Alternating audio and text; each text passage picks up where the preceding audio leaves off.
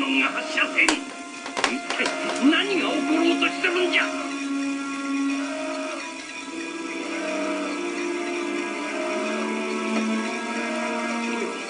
わしのじいさんジェラルド・ロボトニックボニック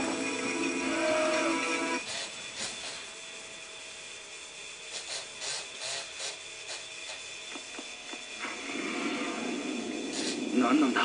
この振は。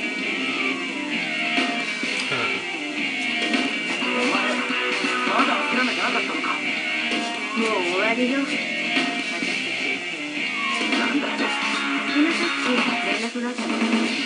うしてこの頃にすごい勢いで市場に接近してるらしいわだがこのままだと出血するわよ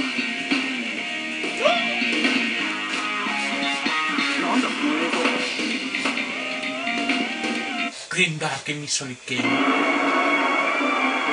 は全人類に対する死刑宣告だ私の計算に組みがなければ27分53秒後アークは地上に衝突しお前たちは世界の音も消えてなくなるだろう。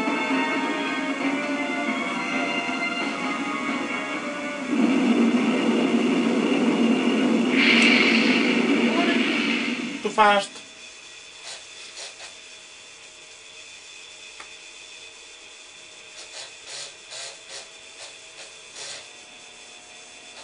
つのカオスエメラルドが揃う時私はこの復讐計画がスタートするようにしておいた。プログラムはすでに不可逆だ。私から全てを奪った愚かしい人間どもよ私と同じ絶望を味わうがいい。他に残すべきメッセージはあるか？ありませんこれ。誰なのこの7つのカオスエメラルドが揃う時プロフェッサー・ジェラルド・ロボトニック。世紀の天才科学者と謳われた。わしのじいさんじゃなんだやっぱりお前のせいか。今すぐやめろ。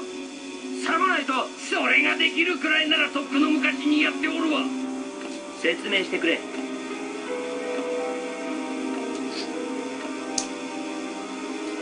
際の悪いハリネズミめやはり生きておったのか。あんなもんよりナッコールスのモカとシャトルの方がよっぽどスレないんだった。何？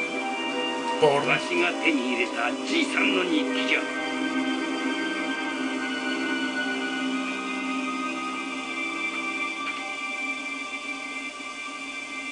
わからない。どうしてこんなことになってしまったのか究極の生物を生み出そうなどという考えがやはり間違っていたのだろうか。あの日コロニーに現れた軍隊。目的はおそらくプロジェクトの抹消だ。書の仲間たち。愛しい孫娘マリア。どうか無事でいてくれ。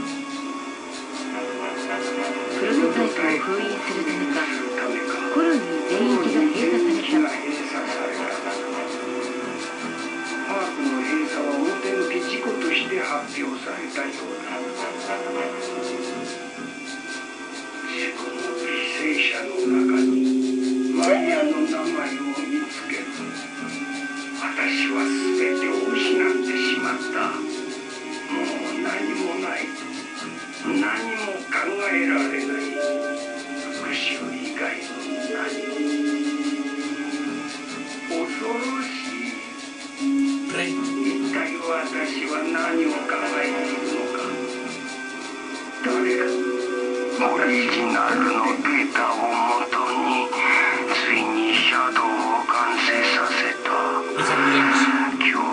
コントロールも完璧だ。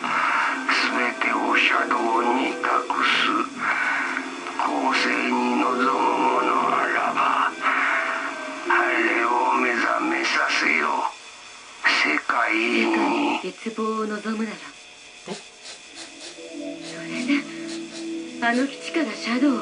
暴走するカオスエメラルドがエネルギーを得てエクリプスキャノンのコアは巨大な爆弾のようになっておる小さくするとこのままコロニーがぶつかったら地上は霧一つ残らんぞあのマッドサインポールねマックスサイエンティストとにかく早くコロニーを止めなきゃおそらくコロニーの推進力とカオスエメラルドの力によるものじゃまずはその暴走を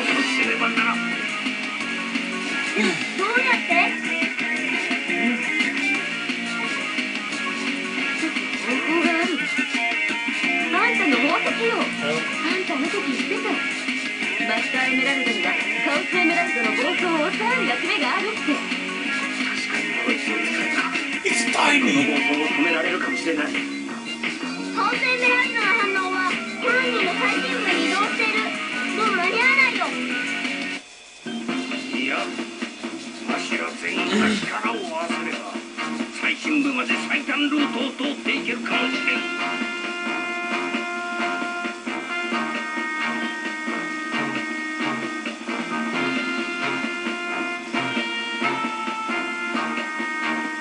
ト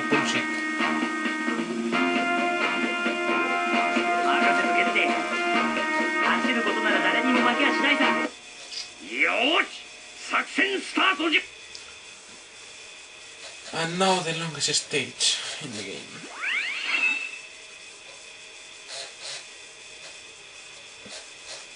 Annoying as fuck.